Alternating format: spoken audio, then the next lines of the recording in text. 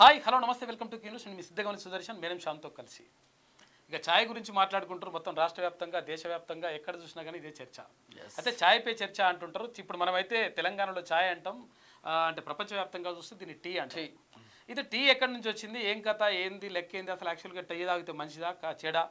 లేకపోతే ఛాయ్ తాగితే మంచిదా మంచి జరుగుతుందా చెడు జరుగుతుందా ఛాయ్ తాగితే యాక్టివ్గా ఉంటామని చెప్పి కొంతమంది చెప్తుంటారు ఛాయ్ తాగితే మొత్తం కూడా అంటే ఊరికే ఛాయ్ తాగితే మొత్తం ఈ వ్యవస్థ కూడా దెబ్బతింటుంది ఆకలి కూడా రా- కాదు ఆకలేసే టైంకి చాయ్ తాగితే ఆకలి అటే పోతుందని ఆరోగ్యానికి. దెబ్బ పడుతుందని చెప్పి చెప్తా ఉంటారు కాబట్టి అసలు ఛాయ్ గురించి ఛాయ్ పే చర్చ అని చెప్పేసి ఒక ప్రత్యేక స్పెషల్ ఎడిషన్ వేసింది దిశ పత్రిక చాయ్ పే చర్చ కూడా మన ప్రధానమంత్రి నరేంద్ర మోడీ గత పది సంవత్సరాల నుంచి నడు ఛాయ్ పే చర్చ ఉన్నది కొనసాగిస్తా చాయ్ పే ఉన్నారు. చర్చ. అంటే ఇది ఆ, గరీబ్ నుంచి తర్వాత నవాబు వరకు అంటే ప్రధానమంత్రి వరకు కూడా వెళ్ళిపోయినటువంటి ఛాయ్ విషయం.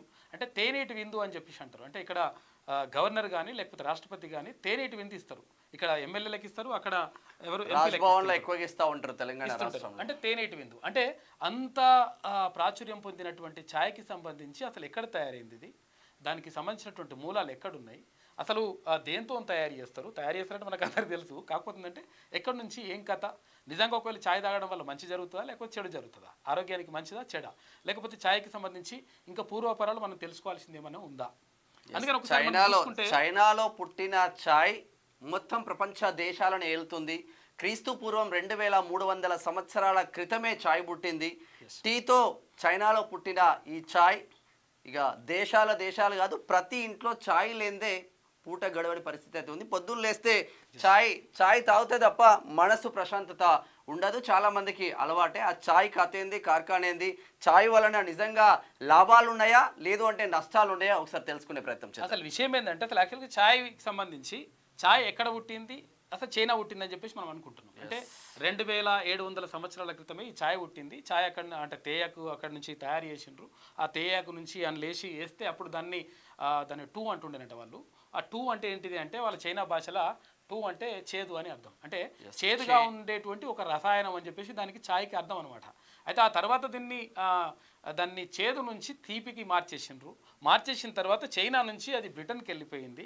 బ్రిటన్ నుంచి భారతదేశానికి దిగుమతి అయ్యింది. మరి భారతదేశానికి దిగుమతి అయిన తర్వాత భారతదేశంలో ఛాయ్ ప్రవేశపెట్టినప్పుడు అందులో పాలు లేవు. ఓన్లీ డికాషన్ మాత్రమే ఉంటుండే. అయితే ఆ డికాషన్ ఉన్నప్పుడు మరి ఎట్లా ఇల్లు డికాషన్ ఎందుకు తాగాలి ఏం కథ అని చెప్పేసి భారతీయులందరూ కూడా అనుకుంటుండేనంట. అందుకని స్వాతంత్రానికి పూర్వము భారతదేశంలో ఛాయ్ వాళ్ళు ప్రవేశపెట్టినప్పుడు అంటే ఇక్కడ డికాషన్ ప్రవేశపెట్టినప్పుడు ఏం చేసిండ్రంటే ప్రత్యేకంగా ఫస్ట్ ఇప్పుడు జియో సిమ్ ఉన్నది కదా ఈ జియో సిమ్ ఏం చేస్తాం మనం? ఫస్ట్ చూసినాం కదా అంతా ఫ్రీ ఫ్రీ ఫ్రీ అన్నాడు ఏడాది దాకా ఫ్రీ అన్నాడు. ఫ్రీ అయిన తర్వాత బాగా అలవాటు. పిల్లలు పెద్దలు మొత్తం అందరు కూడా ఆ జియో సిమ్ లేకుండా తర్వాత ఫ్రీగా మాట్లాడకుండా ఇంటర్నెట్ లేకుండా గడవలేనటువంటి పరిస్థితికి వచ్చేసింది. తీసుకొచ్చి అట్లనే అప్పుడు ఛాయ్కి సంబంధించి ఏం చేసిందంటే ప్రత్యేకంగా ఎక్కడెక్కడ చిన్న చిన్న నగరాలు చిన్న చిన్న పట్టణాలు ఉంటే ఆ పట్టణాలు నగరాలలో ఛాయ్ని అంటే ఇక్కడ డికాషన్ని ఏర్పాటు చేసి ఎవరు? బ్రిటిషర్స్. డికాషన్ని ఏర్పాటు చేసి వాటిని ఫ్రీగా ఇచ్చేసిండ్రు. ఫ్రీగా పంపిణీ చేసిండ్రు.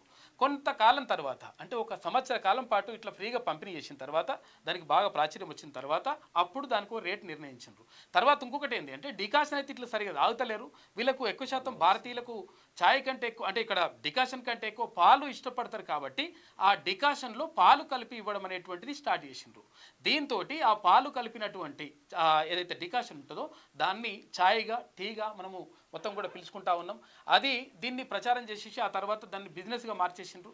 వ్యాపార దృక్పథంతో వచ్చినటువంటి బ్రిటిషర్సు ఇప్పుడు మనకు ఛాయ్ని రుద్దిపోయినరు. అంతకుముందు చైనాలో ఉండగానే ఆ తర్వాత మనకు రుద్దింది మాత్రం బ్రిటిషర్సే ఇక తెలంగాణ రాష్ట్రంలో ఎస్పెషల్లీ హైదరాబాద్లో మాత్రం ఇరానీ చాయ్ ఫేమస్. అలాగనే ఆల్ఫా హోటల్లో ఆల్ఫా టీ పౌడర్ కూడా చాలా తెలంగాణ రాష్ట్రంలో రెండు తెలుగు రాష్ట్రాల ప్రజలు ఆల్ఫా హోటల్కి వెళ్ళి టీ పౌడర్ అంటే విడి టీ పౌడర్.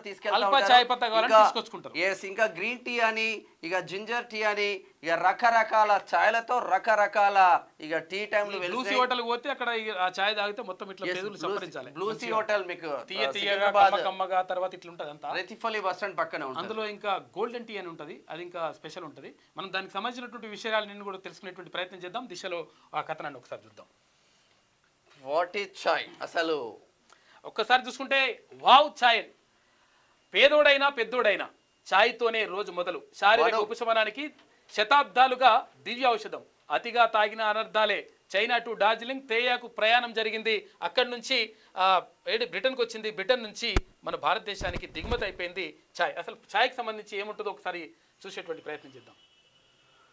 రోజు రోజు ఏ పని ప్రారంభించాలన్నా కడుపులో వేడివేడి చాయ్ పడాల్సిందే. ఎవరో ఉర్దూ కవి అన్నట్లు కావి కా- కాఫీ సాంప్రదాయమైనది. ప్రతి పదార్థం ఖచ్చితమైన లెక్కలతో వేస్తేనే కమ్మని రుచి వస్తుంది. చాయ్కి అలాంటి పట్టింపులు ఏమి లేవు. ఏం చేసినా ఎలా చేసినా అది చాయే అందుకే భారతీయులకు చాయ్ అంటే ప్రాణం.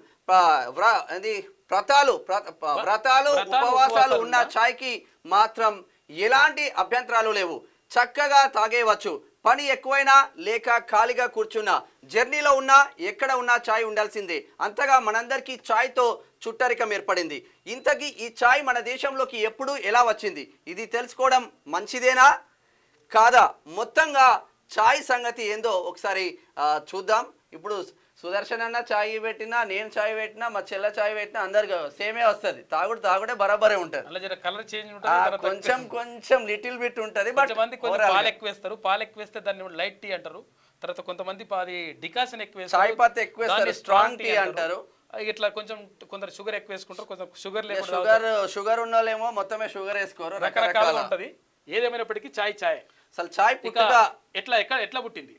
టీ చరిత్ర చాలా పురాతనమైనది. క్రీస్తు పూర్వం రెండు వేల ఏడు వందల ముప్పై రెండులో అప్పటి చైనా చక్రవర్తి షెన్నుంగ్ కనిపెట్టారని సమాచారం. ఒకసారి ఆయన విడిది ఉన్న ప్రాంతంలోనే సేవకులు వేడి నీరు అంది మరిగిస్తుండగా భారీ వృక్షం నుంచి కొన్ని ఆకులు అందులో పడి మంచి సువాసన వచ్చింది. చక్రవర్తి సేవకులను పిలిచి విషయం తెలుసుకొని దానిని రుచిగా రుచి చూడగా అతడికి అద్భుతంగా అనిపించిందట.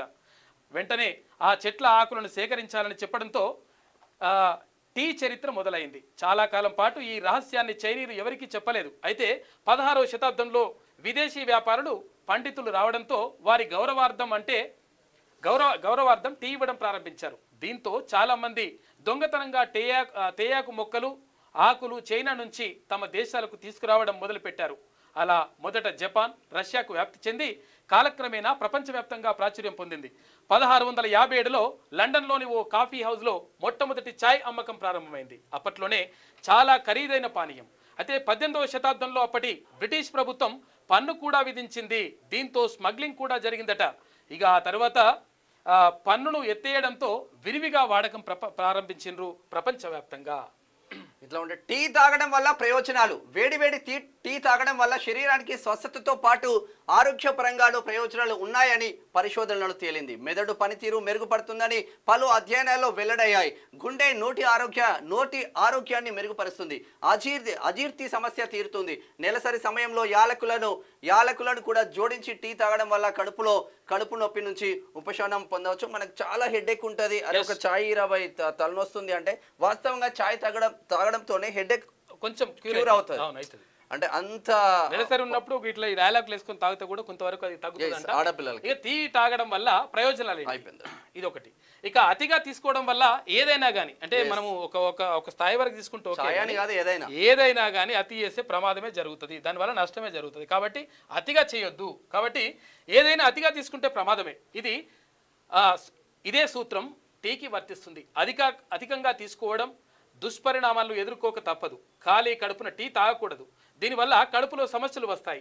అధిక మొత్తంలో టీ తీసుకోవడం వల్ల ఆందోళన నిద్ర సమస్యలు గుండె మంట గుండెల్లో మంట తర్వాత ఇక్కడ అసిడిటీ సమస్యలు పుట్టుకొస్తాయని వైద్యులు చెప్తున్నారంట. సో టీని రోజుకు మితంగా తీసుకుంటే ఎన్నో ఆరోగ్య ప్రయోజనాలను కూడా పొందొచ్చు.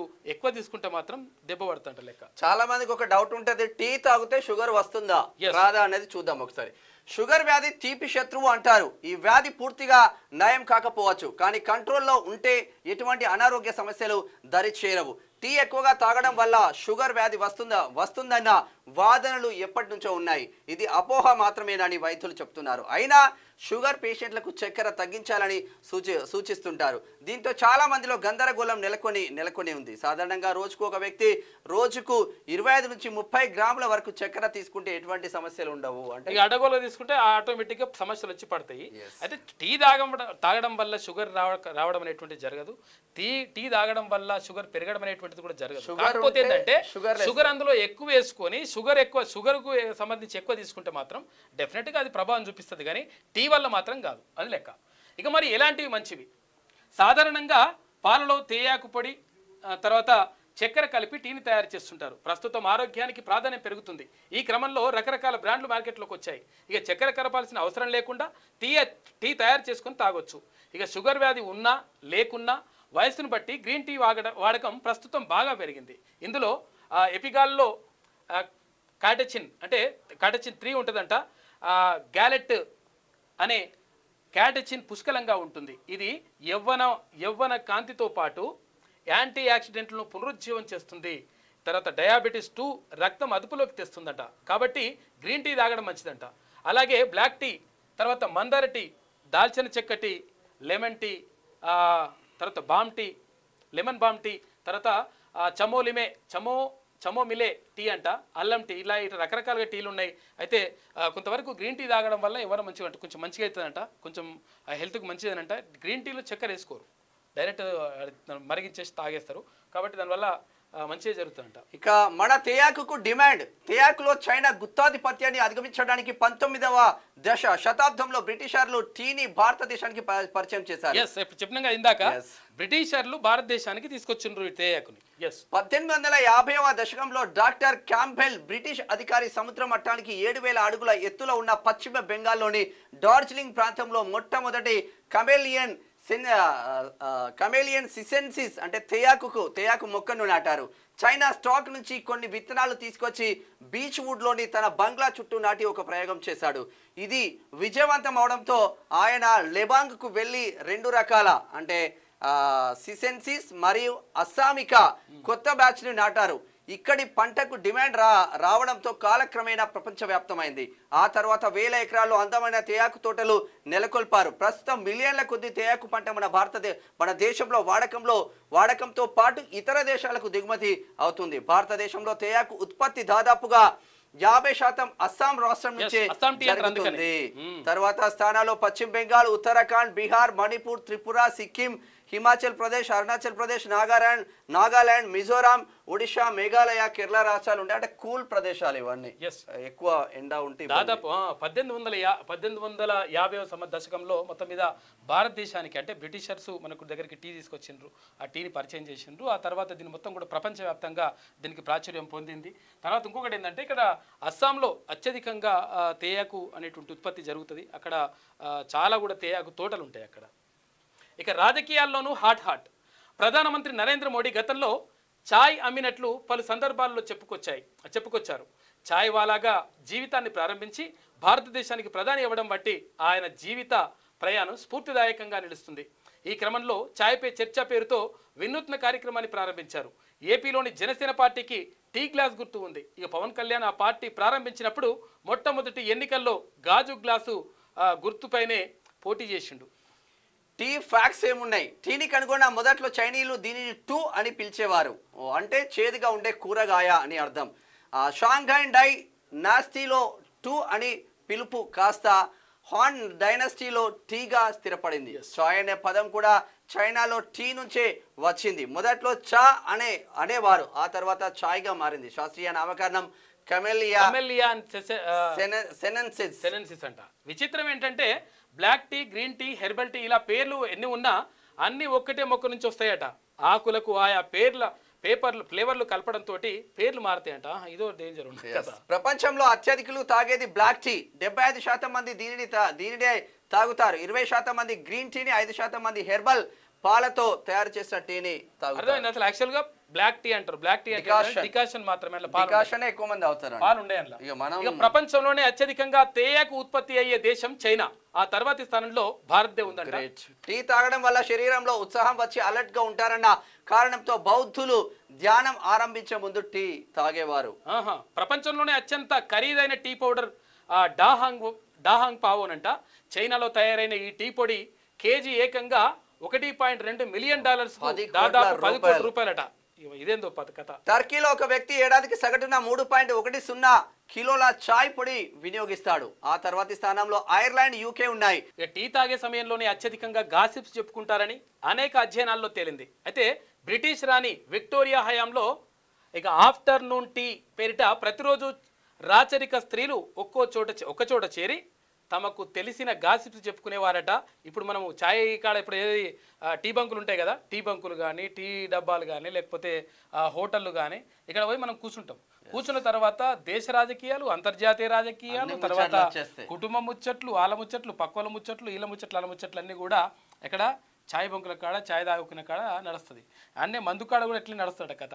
మందు కాడ కూడా అందరి గురించి మాట్లాడుకోడు పక్కన గురించి మాట్లాడు అట్లా నడుస్తుంటుంది. అట్లనే ఛాయ్ కాడ కూడా. కాకపోతే ఛాయ్ కాడ కొద్దిసేపు తక్కువ మందు కాడ జరిసేపు ఎక్కువ అని చెప్పేసి అంటుంటారు. ఇక వ్యాపారం అయితే భారీగానే ఆయనకు కనిపిస్తా ఉంది. భారీగానే వ్యాపారం. టీ వ్యాపారం కొన్ని కోట్లలో జరుగుతుందంటే అతిశయోక్తి కాదు.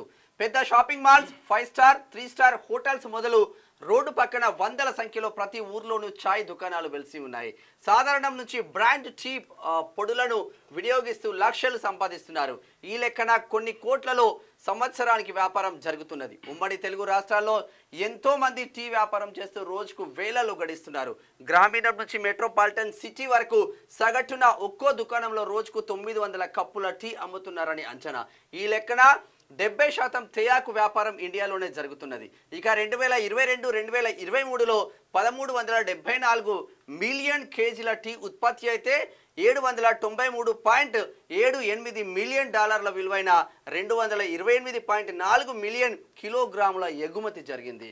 రెండు వేల ఇరవై మూడు నాటికి భారతీయ టీ సారీ రెండు వేల ముప్పై మూడు నాటికి భారతీయ టీ మార్కెట్ పదిహేడు వేల తొమ్మిది వందల ముప్పై నాలుగు పాయింట్ ఒకటి మిలియన్ల డాలర్లకు చేరుతుందని అంచనా వేసింది. అంటే వ్యాపారం నార్మల్గా నడుస్తలేదు దీంతో.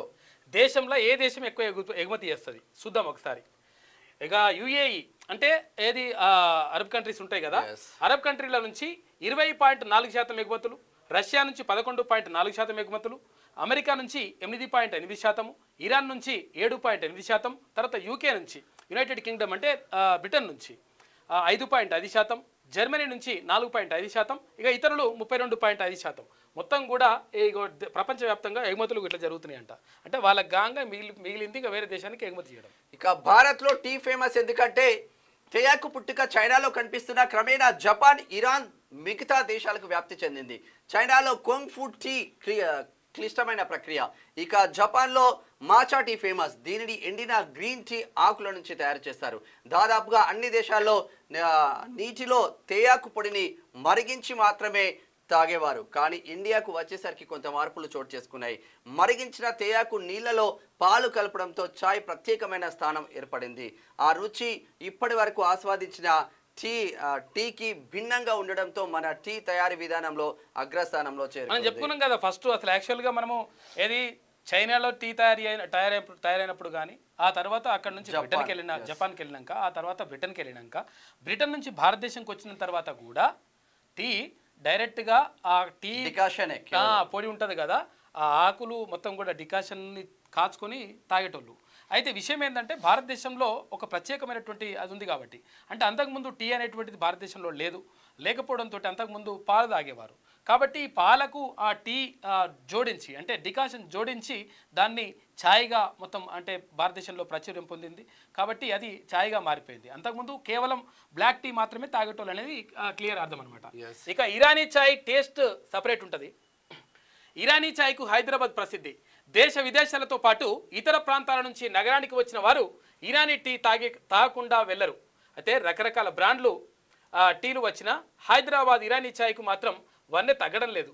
అసలు ఇరానీ ఛాయ్ సంస్కృతిని ఇక్కడ తీసుకొచ్చింది జొరాస్టియన్ ఇరానియన్లు. అయితే ఇరాన్లో ఒకప్పుడు పెద్ద కరువు వచ్చినప్పుడు ఇక్కడకు వచ్చి వలస వచ్చారు. అయితే అలా వచ్చిన వారు ఇరానీ ఛాయ్ కేఫ్లను నడపడం ప్రారంభించారు. ఫలితంగా హైదరాబాద్ సంస్కృతిలో ఇరాన్ ఛాయ్ ఒక భాగమైపోయింది. దీని తయారీ కూడా కొంచెం భిన్నంగా ఉంటుంది. రాగి పాత్రలో బొగ్గుపై దమ్ చేస్తారు. ఆ తర్వాత పాలతో కలిపి తీసుకుంటే ఆ మజాయే వేరుగా ఉంటుంది అని చెప్పేసి అంటారు. అసలు యాక్చువల్గా ఛాయ్ చాలా మంది ఏం చేస్తుంటారంటే అది పాలు మసలు పెడతారు అంటే అది డికాషన్ మసలు పెడతారు. మసలు పెట్టిన తర్వాత అందులో పాలు పోస్తారు. పాలు పోసిన తర్వాత ఇస్తారు. కాకపోతే ఏంటంటే ఈ ఇరాన్ చాయ్ ప్రకి ప్రత్యేకత ఏంటంటే పాలు వేరేగా మసలు అంటే అది మరగబెడతారు. ఆ తర్వాత డికాషన్ వేరేగా మరగబెడతారు. ఈ రెండు కలిపి ఇస్తారు. దాన్ని ఇరానీ టీ అంటారు. అంటే కొంచెం డిఫరెంట్గా ఉంటుంది అది. దాంతో అది బాగా టేస్ట్ కూడా చాలా బాగుంటుందని చెప్పేసి అంటుంటారు. చాలా మంది ఇరానీ టాయ్ ఛాయ్కి ఫిదా అయిపోయినరు. కాబట్టి హైదరాబాద్కి వచ్చిన వాళ్ళు చాలా మంది కూడా ఇక్కడ ఆల్ఫా హోటల్లో ఛాయ్ తాగడం కానీ తర్వాత ఇక్కడ బ్లూసీలో ఛాయ్ తాగడం కానీ లేదంటే అంటే ఇరానీ చాయ్ ఎక్కడ ఉంటే అక్కడికి వెళ్ళి చాయ్ తాగడం కానీ ఇవన్నీ కూడా చేస్తూ ఉంటారు పెద్ద రాగి పాత్ర పెట్టి కింద పెట్టేసి చేస్తుంటారు. మొత్తం మీద చాయ్ మాత్రం అంటే భారతీయ సంస్కృతిలో ప్రధానంగా తెలంగాణ హైదరాబాద్ సంస్కృతిలో ఒక భాగంగా మారిపోయింది భారతీయ సంస్కృతిలో భాగంగా మారిపోయింది. ఎందుకంటే ప్రధానమంత్రి నరేంద్ర మోడీ చాయ్ వాలాగా అంటే తన చిన్నతనంలో తన జీవితాన్ని చాయ్ వాలాగా ప్రారంభించి ఆ తర్వాత అంచెలంచెలుగా ఎదిగి ప్రధాని స్థాయికి వచ్చినట్టుగా ఆయననే చరిత్ర చెప్పుకున్నాడు. కాబట్టి ఆ ఛాయ్కి సంబంధించి ఛాయ్కి తర్వాత భారతీయులకి అవినాభావ సంబంధం ఏర్పడ్డది. అయితే గతంలో అందులో టీ పొడితో డికాషన్ మాత్రమే ఉంటుండే పాలు జోడించి మన భారతదేశంలో ప్రత్యేకమైనటువంటి సంతతి ఆ, అంటే విషయాన్ని సంతరించుకుంది ఛాయ్. కాబట్టి ఈ ఛాయ్కి సంబంధించి ఛాయ్ కొద్దిగా తీసుకుంటే హండ్రెడ్ పర్సెంట్ మంచిగానే ఉంటుంది. కానీ ఛాయ్ అతిగా తాగితే మాత్రం అనర్థాలు కూడా ఉంటాయి. ఆకలి కూడా చచ్చిపోతాయి అనర్థాలు కూడా ఉంటాయి అని చెప్పేసి వైద్యులు హెచ్చరిస్తున్నారు. మన మల్లన్న కూడా చెప్పిండు చాలా సందర్భాలలో నేను కూడా సికింద్రాబాద్ రైల్వే స్టేషన్లో ఛాయ్ అమ్మినా అవును. ఒక ఛాయ్ ఛాయ్ ఛాయ్ అమ్మే వాళ్ళు ఒక ప్రధానమంత్రి అయిపోయిండు. తెలంగాణ రాష్ట్రంలో ఎమ్మెల్సీ మల్లన్న కూడా. ఎమ్మెల్సీగా అందుకే చాయ్ చెటుక్కున. చాయ్ చెమక్కులే చూపరా చూడరా బాయ్ బాయ్ అని. అని చిరంజీవి కూడా సొంత గొంతుతోటి అసలు యాక్చువల్గా చిరంజీవి ఆ, కి బాలసుబ్రహ్మణ్యం కానీ లేకపోతే ఇంకో వేరే వాళ్ళు కానీ పాటలు పాడుతుండే. కానీ ఆయన గొంతుతో సొంతంగా పాడినటువంటి పాట చాయ్ చెమక్కు చాయ్ చెటుక్కున తాగరా బాయ్. ఎస్ అందరూ చాయ్ తాగండి. క్యూ న్యూస్ ఛానల్లో పనిచేయటకు అనుభవం గల సీనియర్ వీడియో ఎడిటర్స్ కావాలను. సంప్రదించవలసిన number eight six double eight nine two six zero eight four. Q news ADS at the rate Gmail dot కామ్ను సంప్రదించండి. లైక్ చేయండి.